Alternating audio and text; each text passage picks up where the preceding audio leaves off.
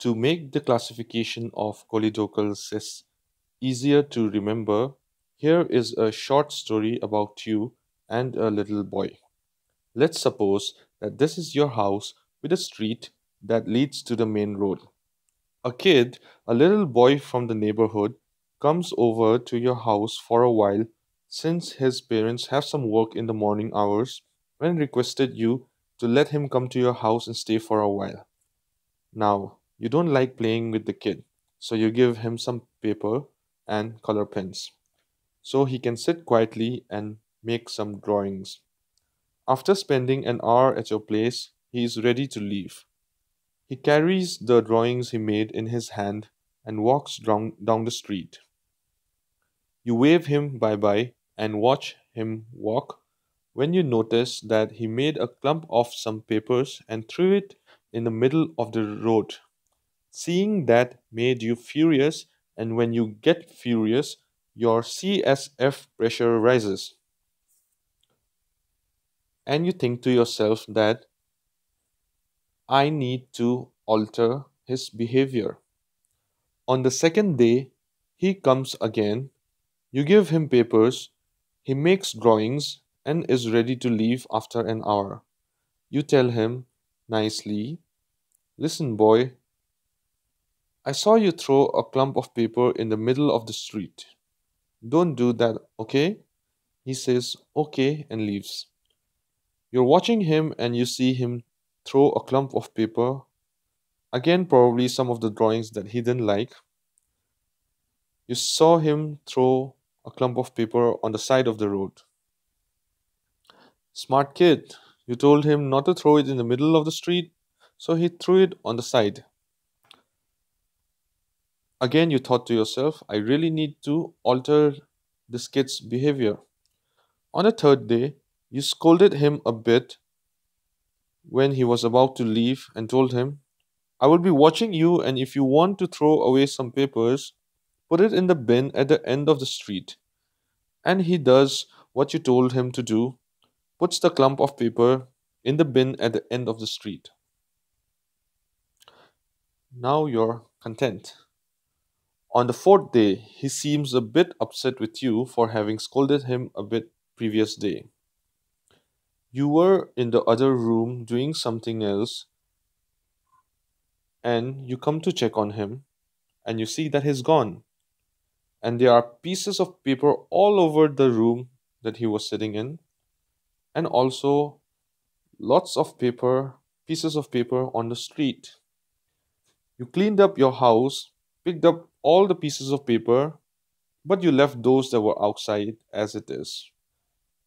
By evening, the wind blew away all the pieces of paper that were, that were on the street. So, in the morning, when he left, there were pieces of paper both inside your house and out, outside. In the afternoon, there were pieces of paper only on the street because you had cleaned up your house, and the ones in the street were blown away by the wind by evening. Now the kid is taking revenge at you for scolding him. But you're even now. You scolded him, and he did this to you on the fourth day. Next day he comes again. Everything seems fine. You explain to him nicely that you don't care about messing up the street because the wind took care of it and you didn't have to clean it. But leaving so many pieces of paper all over the room disturbed you and you didn't like it. You know what? You just told the kid what irritates and frustrates you. So this time, when you were in the other room, he throws pieces of paper all over your room again, but none on the street and leaves. Because he knows that leaving paper on the street is of no use, it doesn't irritate you. But the ones in your house does. After that day, he never came again. And you said, Fine, even I don't want him to come anymore. I don't care. So, type 5 is also known as Caroli's disease. Now, let's see what this classification is called. Why I kept using the word alter, alter after day 1 and day 2 is because This classification was given by A.L. Alonso-Lej and later modified by Todani. So T comes after A and L. It's also known as Todani modification of Alonso-Lej classification. So let's take a look at it again. On the first day, he threw a clump of paper in the middle of the street. So type 1 is solitary extrahepatic cyst. There are three subtypes C for cystic, S for saccular, F for fusiform. All three are solitary extrahepatic cyst.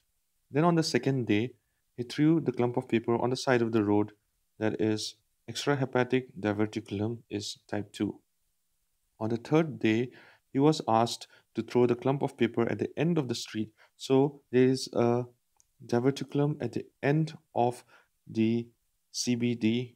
So type 3 is choledochocele. On the fourth day, when he left, there were paper pieces inside the house and outside the house. So extrahepatic and intrahepatic cyst is type 4A. By afternoon, you had cleaned up the inside of your house. So multiple extrahepatic cysts is type 4B. In the afternoon, there were multiple pieces of paper lying in the street. On the fifth day, he threw pieces of paper only inside the house. So type 5 is multiple intrahepatic cysts. And on this day, you said, I don't care anymore. So Caroli's disease is type 5 and the classification name is Alter, ALT. Alonso-Lej classification, later modified by Todani. Thanks for watching this video, guys.